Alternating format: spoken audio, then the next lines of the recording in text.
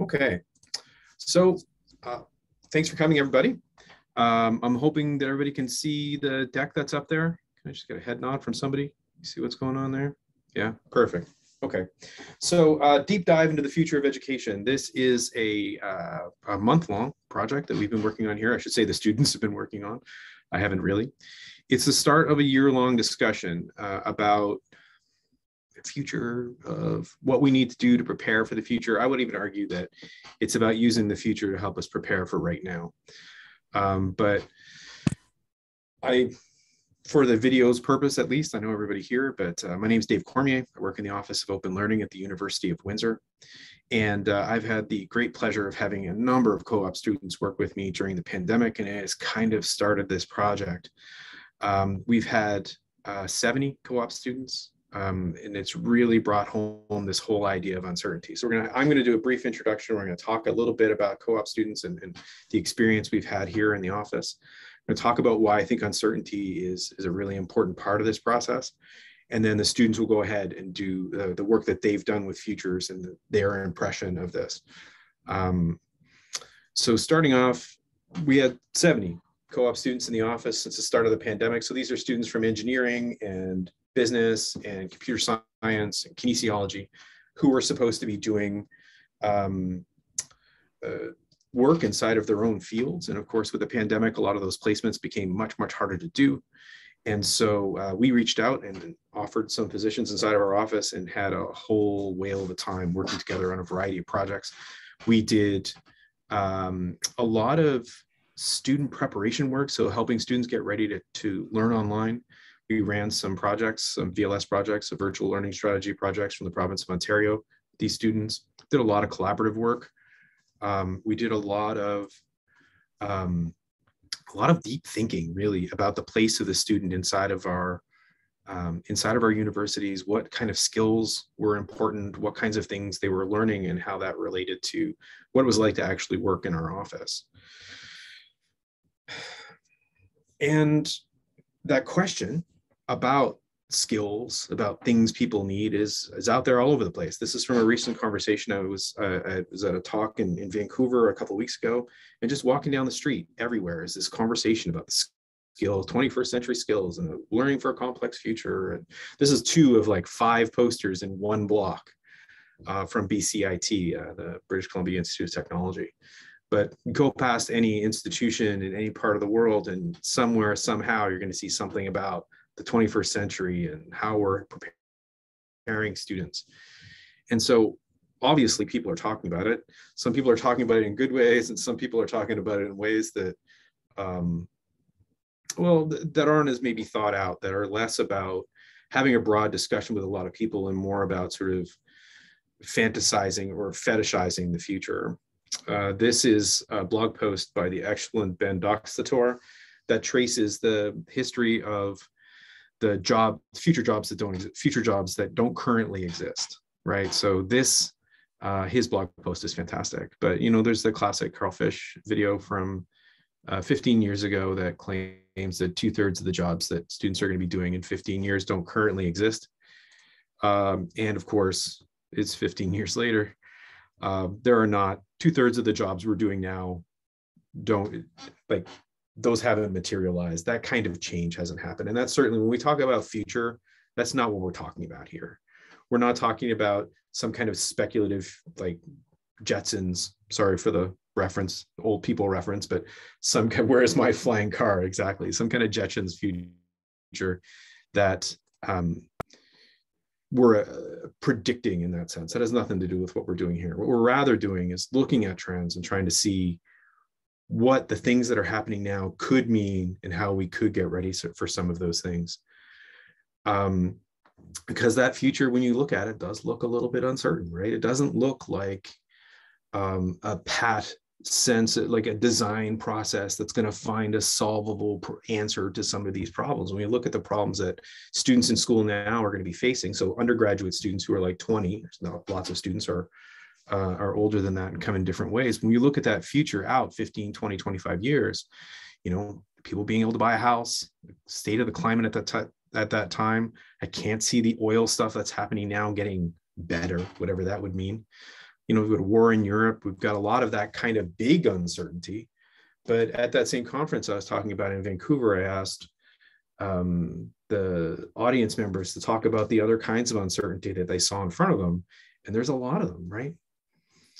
Um, there are a lot of issues out there that don't have simple solvable answers. When I say uncertainty, I don't mean there's an answer and we don't know that answer currently.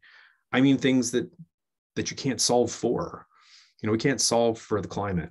There's not like there's not I don't have an answer in my back pocket somewhere that I can pull out and go, oh, this is the right answer. This is what we should be doing. It's a complex situation, requires a lot of different kinds of work. And this is the, the quote that started this whole project, right? I had one student who came up to me, uh, I think it was two weeks into the term, and he looked at me and, and started apologizing. And I'm like, I don't, I say looked at me, we are online in this kind of uh, venue. And he said, look, I'm sorry. Um, you've been asking for my opinion for two weeks now, and I thought you were lying the whole time because I've never had an adult ask me a question when they didn't already know what answer they wanted or they didn't already know the answer themselves. Right. And that isn't a, that in no way is meant to slight the student who asked that question because that student can tell the difference. But the relationship that they've been in with the people who teach them their, their whole life was one where somebody had a secret private answer they were holding back and they'd ask them a question to test them to see if they could get that answer and it leads to this really weird kind of situation where um, where students think that well where they've been trained to believe that every question has an answer right and we look out to this uncertain future this is no preparation at all right? When we're looking at all of these uncertain challenges, all these things we need to deal with, all and the students will walk you through like an example of what that looks like. But having a right answer is not something they're going to have for the challenges that they're facing for a lot of those challenges. And it speaks to the skills that we care about right and i'm not saying that knowing things or having a memory of something is a bad idea or that somehow you don't need to know the definitions to things though on, on certain days, I might make that claim. Um, I'm saying that our system right now, as it stands, multiple choice questions, the way that we set out to cover the content is something I've heard over and over and over again over the pandemic when people were moving their stuff online. How am I going to make sure I cover that content? That content focus leaves a whole slew of skills um, that I would say are necessary for confronting uncertainty that aren't being dealt with you know, Gene Glasser talk about it as classroom style questions, questions where there's a question, there's a clean process that every that the instructor knows, and there's an answer that the instructor knows, versus a real world question, which is one where um, a real world question, which is one where we have either the question or the answer, or the process is something that is not only unknown to me, it's not it's unknown to everybody Go to the next slide, please, Patrick. Those things are uncertain. And I mean, if you look at the stuff from uh, from Rittel and Webber from the 70s, it, they're wicked problems, right? They're problems that don't have answers. And the only problem I have with the word wicked instead of uncertainty is it makes it sound dramatic. And I'm not talking about just dramatic problems. So many of the problems we deal with are uncertain. And so this journey that we're on right now, so this is the first conversation of many. I tried to make it, oh, I'm at about 10 minutes. That's okay. Uh, it's the first conversation of many. I wanted to start with a conversation that was led by students um, in their own journey through this process to sort of ask ourselves the questions of what skills do we need uh, to confront uncertainty? What ways do we need to think about the way that we're engaging in the process of learning to help people prepare themselves for that kind of uncertain future? That Future Challenges Institute, that's FCI, uh, we're looking at February right now, but we'll have a series of talks going through until then. So uh, the next one's on June 15th, and then it'll be every month after that. And then we're hoping to do an open course, maybe even the M word, a MOOC uh, in the fall, um, doing uh, sort of group futures work then too, starting to dig into this question. So there's my introduction, folks. Thank you for coming.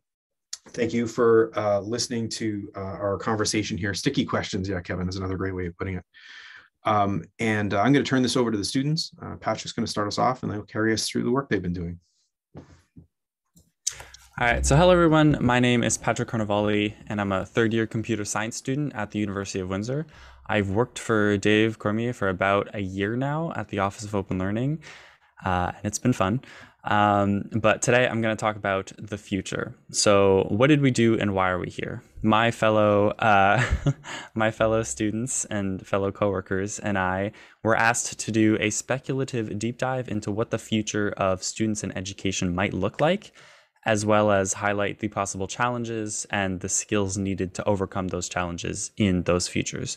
So, one of the ways that we determined what these futures would look like, or imagined what these futures would look like, is we looked at current day trends. So, as you can see with the chart on the left, you can see from 2005 to 2013 uh, the trends of smartphones and PCs went up. I'm sure if the tr- if the chart went up to 2022, it would be way higher. But that's what I mean by when I say trends. And on the right, you can see an image of a whole bunch of different kinds of trends in today's society. These are SSHRC trends and SSHRC uh, stands for Social Sciences and Humanities Research Council. That's where we got these. So we were asked by Dave to pick some of these futures and some of these or some of these trends and identify a future from them and try and imagine what that future might look like for education. So these are the four trends that we ended up picking. There are three students at the Office of Open Learning, so we each got one of these trends and then we did a joint trend to get four futures. So the emerging asocial society talks about how this younger generation is becoming more detached from society, like in a physical presence and more in a digital presence.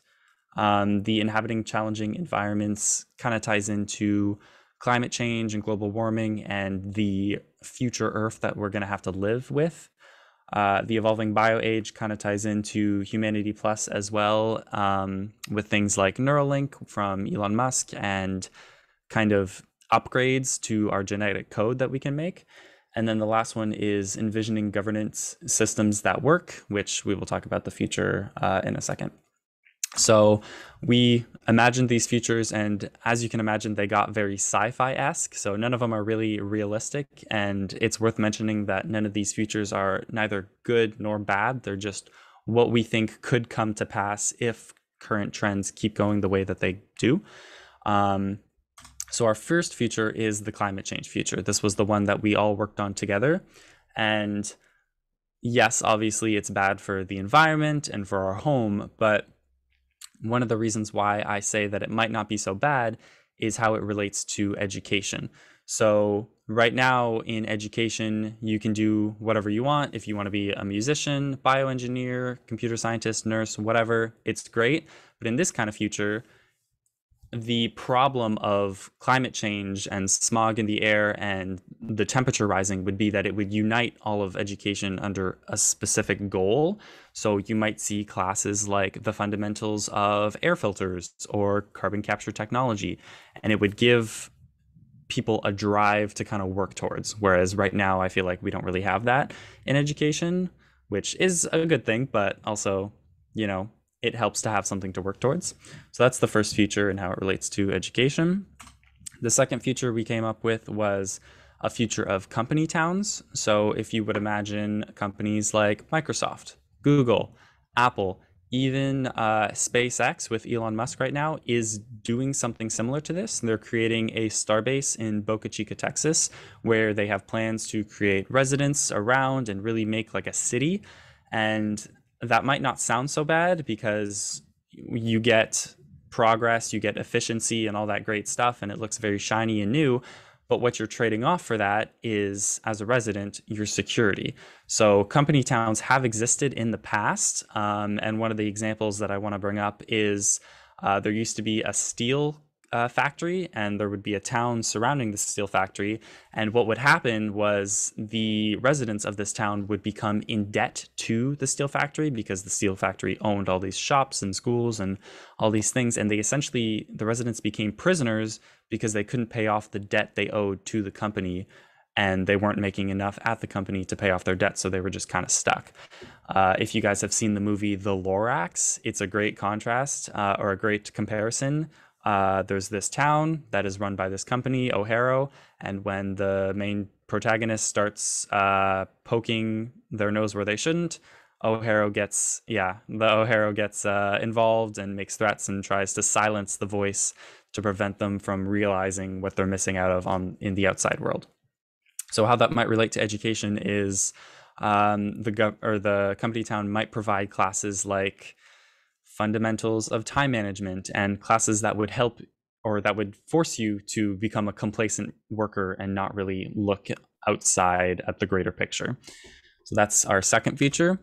There's four in total. The third feature is the DNA modification future, uh, like I was talking about before. So imagine a world where you can pay for your child to have baby blue eyes and 20/20 vision and increased IQ and reason and anything you would want. It would create a social hierarchy, kind of a gap where the rich would be able to, you know, create this essentially perfect being, and then the poor who wouldn't be able to afford it would fall into a lower class. And what that does for education is imagine giving your child everything you would need everything they would need to become a doctor and nothing else. Well, what if that child grows up and yes, they have all the skills needed to become a doctor, but what if they decide to become a, mu- a musician?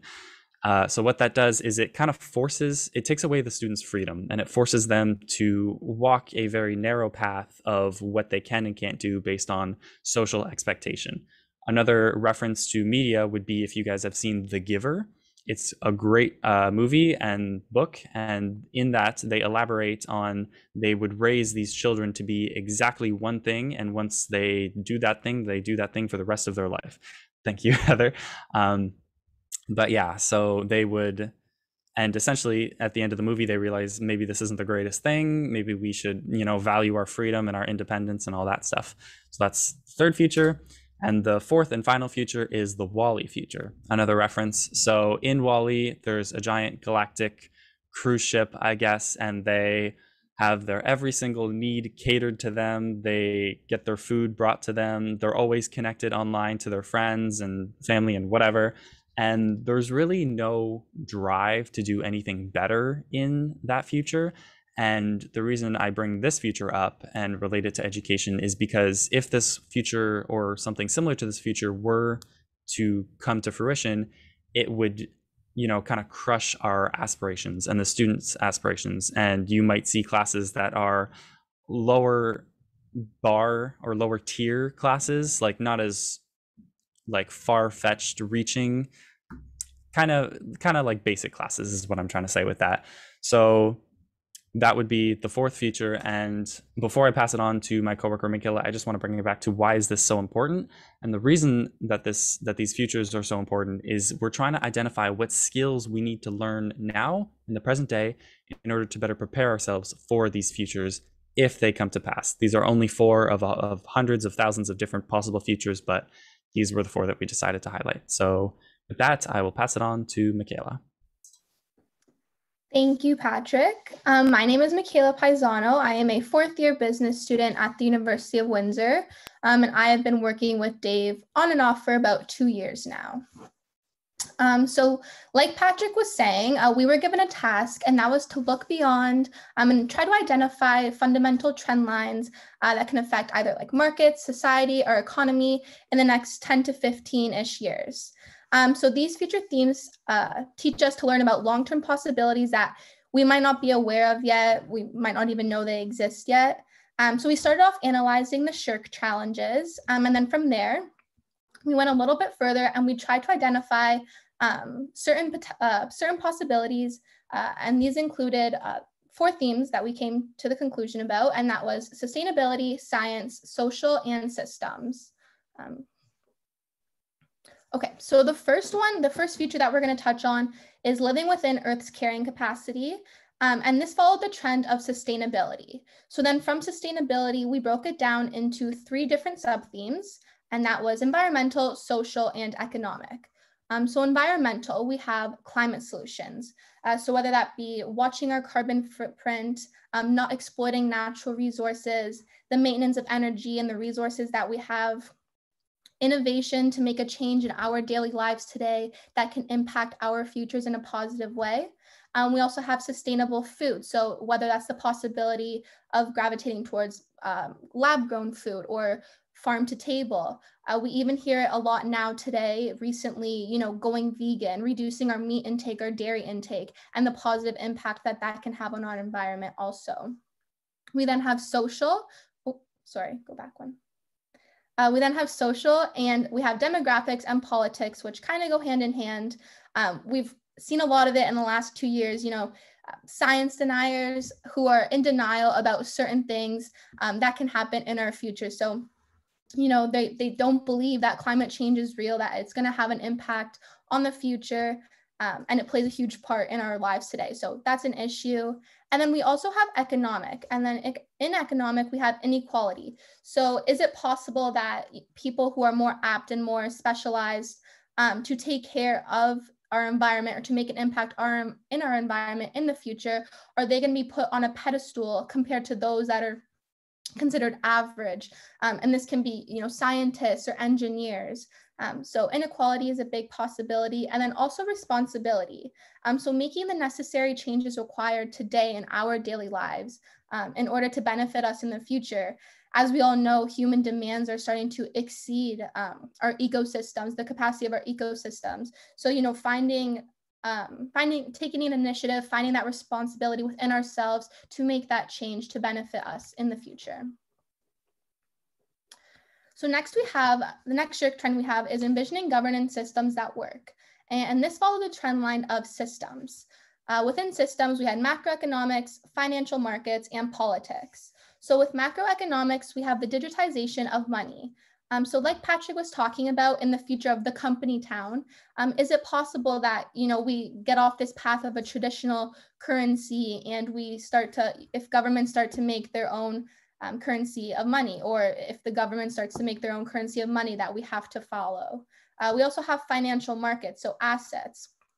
Is it possible that things aren't going to belong directly to us anymore? Are they going to belong more to the government, to the company, um, the employer that is running the town, and same with risks. Are we going to have that financial freedom to, you know, be able to invest in the stock market, be able to make investments elsewhere? We also have politics, so governments.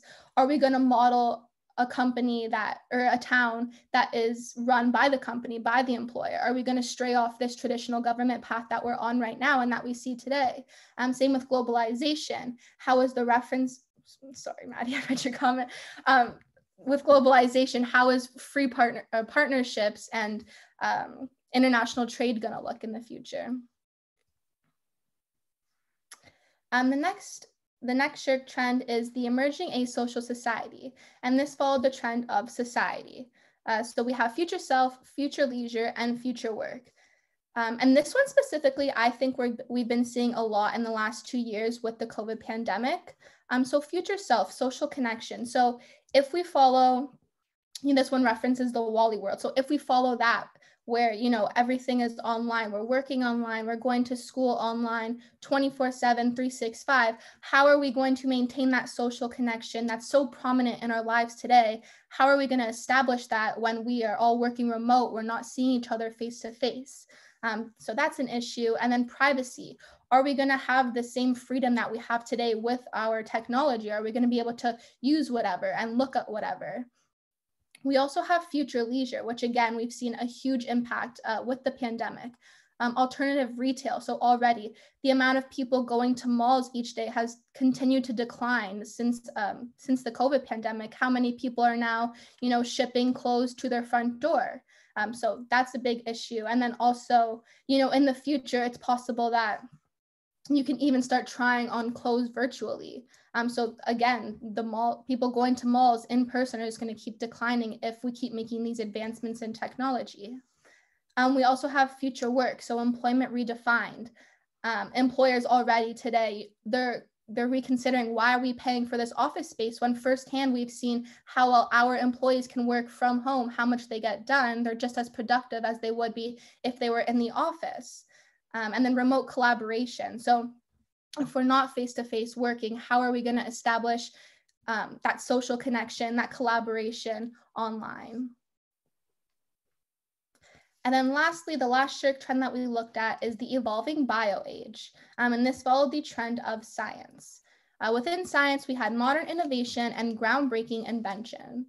So with modern innovation, we have virtual services. Again, with the COVID pandemic, we've seen so many, um, whether it's online shopping, online groceries. Um, you know, we could even make even more advancements in the future, such as remote healthcare, doctors coming to your door, being able to hop on a Zoom call or a Skype call and have that meeting with your doctor. Um, we also have automation and technology. So whether that's the introduction of nanotechnology, uh, micromachining, different designs, and then we have groundbreaking inventions, so biology, um, the, disruption, the disruption of notions of what we as humans believe is natural and not natural, and then also new discoveries. So beginning to blur the lines of inorganic and organic, um, taking new paradigms, new approaches to science. So we then took it a step further and we began analyzing um, the SSHRC challenges and the trends that we just discussed a bit deeper. And we were wondering to ourselves, what qualities or traits do we think is important to be able to possess, um, to be able to not only thrive, but survive in any of these future possibilities? Um, so if we go to the next slide, Patrick. Thank you. Um, these are the most common ones that came up between all four features that we just discussed. Um, so for example, we have adaptable. So like many of the futures we discussed, you know, we've never seen those situations before. We've never been put in some of those scenarios before. Um, so ourselves being able to adapt to those to those uncertainties, like Dave was saying, that's going to be a really important um, characteristic and quality to possess in ourselves. Um, same with problem solve. You know, when we reach a, again, if we reach an uncertain situation that we've never been faced with before, the ability to work through that and get through that. Um, some other ones are optimism, motivation, dedication, independence. Um, next slide. So now we have a question for you all. Um, based on the presentation so far and what you've heard, uh, what skills do you see coming out of these futures? Uh, so if you just want to drop them in the chat room,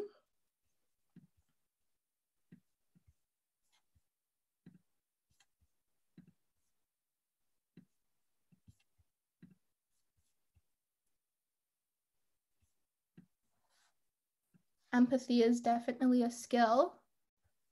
Critical thinking, yeah, that's definitely important. Um, I think it's critical thinking is definitely important. I don't know if you agree, Heather. Maybe you can elaborate more on this. But you know, if we're going to be unfaced with so many un- faced with so many uncertainties, trying to think different ways around it and how we can approach these. I don't know if that's what you were thinking, but maybe if you'd like to discuss, further discuss. Yeah, 100%. Just the ability, I guess, to analyze a situation, um, especially the ethical part of it, because when we're talking about the environment, um, yeah, you got it, Michaela. Thank you. Um, Daniel, tinkering. That's very interesting, and I've never thought of that one before. Could you maybe elaborate on that? Yeah, it's uh, it's kind of a hard one to um, to define, but I think tinkering to me is um, looking at different types of systems and figuring out how they break, and then figuring out how to fix them in different ways. For sure. systems thinking definitely like we've talked about the different systems there are the trends of systems okay so thank you guys for your answer i'm going to end it there um, and i'm going to pass on the presentation to my coworker madeline. Thank you. Um, hi everyone. My name is madeline poulin. I'm a third year mechanical engineering student at the university of windsor. Um, I've only been working with Dave for four months now, and this is my first time completing a futures activity. So we went through the whole analysis and everything, and we decided that we would end it off with some personal reflections on how, um, on us. So the first thing we decided to do was um, reflect on how these skills, like if we have these skills or if we need to further develop these skills um, and where we believe we got these skills. Um, so I'm going to talk about where I think I got these four skills, and I encourage you to think of your own experiences of where you believe you got, got these skills. Um, so these four are the ones that I picked out of um, our mind map. They're the ones that stood out to me that I think are really important to have now and in the future. So when I think about adaptability, uh, the first memory that comes to mind where I was really forced to be adaptable would be my previous work experience at McDonald's. Uh, there was a new franchise opening up and in a new location, so I volunteered to uh, go help open. Um, there was a new layout, new team, new management, a lot of customers. So it was really quick and fast paced, and you had to, it was kind of like, had to snap into it. So I guess I really developed the adaptability skill there. And then moving on to independence, I think of the shift between relying on my parents and doing things on my own and becoming independent. Um, so that would be things like moving from my parents controlling my car insurance to now me doing the car insurance or renewing my license, just things that I no longer rely on them for and I can do it by myself. Um, for responsibility, I think of uh, growing up uh, babysitting. I'd babysit my cousins or my neighbors and just watching a little kid, making sure that they ate their food, cleaning up after them, making sure they did their bedtime routine and they were safe for when their parents got home at a young age really made me develop the responsibility that I have now. And then when I think of communications, I think of growing up playing soccer as well. Um, it's a sport that uses a lot of communication for um, like discussing plays, letting them know your position, letting them know you're open, just communicating a lot so that you have the most success within um, the match. Uh, but when I think in, of communication moving forward into the future, I think of more asynchronous communication. So that would be like developing, or sorry, um, identifying tone, um, interpreting text, and knowing your audience. So for communication, I definitely need to develop that one in those aspects since we are, as we are moving forward in the future. So this is just a summary of where I believe I got these skills from. So the bolded and underlined ones are the ones that I just talked about my experiences with, and the rest are other um, skills that we came up with during our brainstorm. So a lot of them fall under personal experiences such as work experience, but some of them fall under both post-secondary and personal experience, such as adaptability, how I talked about McDonald's. When I think about adaptability, I also think about um, the shift from going to in-person school to online school during the pandemic. So it kind of fits in the middle there. And then when I think about skills for post-secondary, I think about developing social and collaboration skills from teamwork and group projects and presentations, and also self-motivation for getting your homework done, uh, studying, things like that. But if I were to include other skills that were not a part of our initial brainstorm into post-secondary, secondary, I'd include memorization and application, which I believe are two things our school focuses on a lot. Um, so going through this process, we continued reflecting about these skills and the process and um, how we believe these skills will help us now and in the future. So I believe personally that um, the more skills I have, the more personal growth, sorry if you can hear background noise, um, the more skills you have, the more growth you'll have. Uh, you'll be more comfortable, more confident in both school and in uh, work. It also helps you succeed. I feel like if you have more skills, more broad skills, you'll be able to um, approach things differently and just be more success successful with tasks that are presented to you. That being said, you'd be more prepared for those tasks and for unpredictable circumstances, such as the one like the pandemic. You can have uh, more skills for um, coping or dealing with these circumstances. And the final thing that we've talked about a lot during our time here that I think having more skills would help with is approaching uncertainty.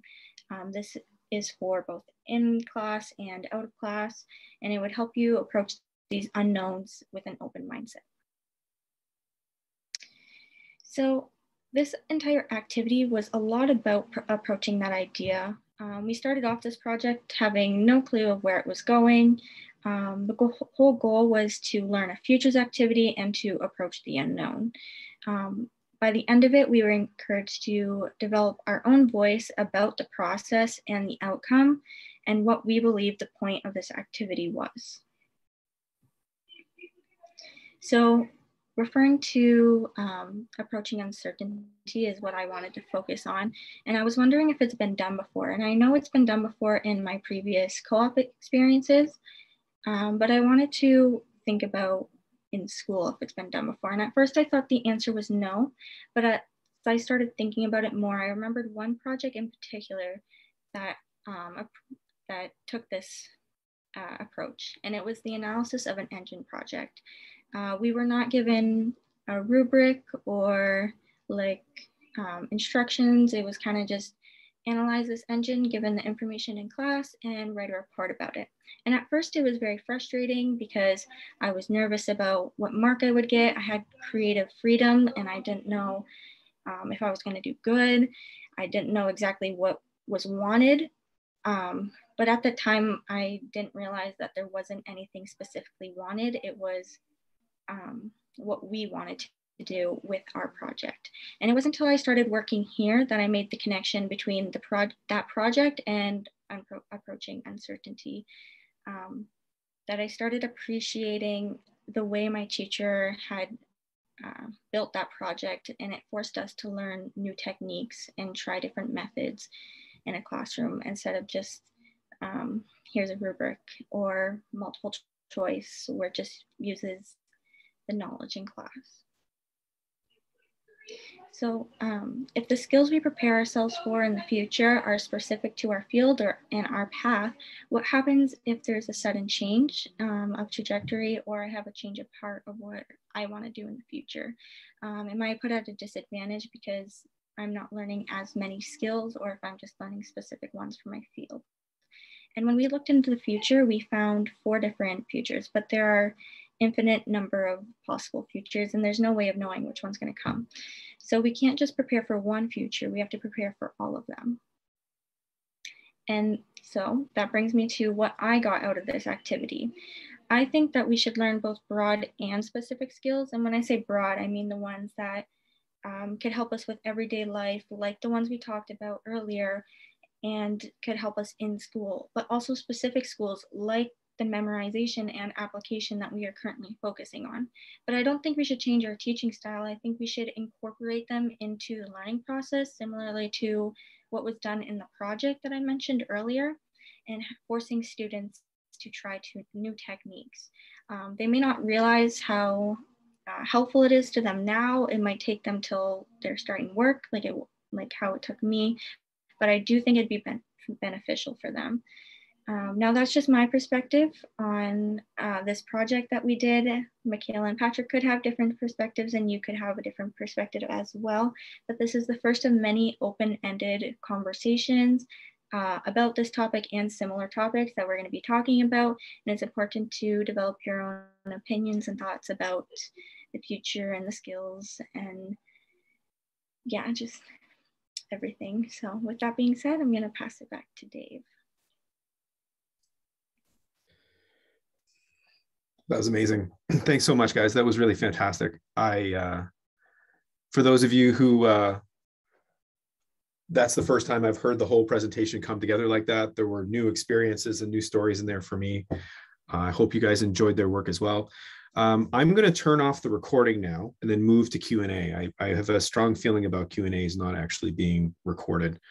Um, so I'm going to hit stop. We'll post this after, and then we've got room for people to ask questions or comments. Um, Thanks, everybody.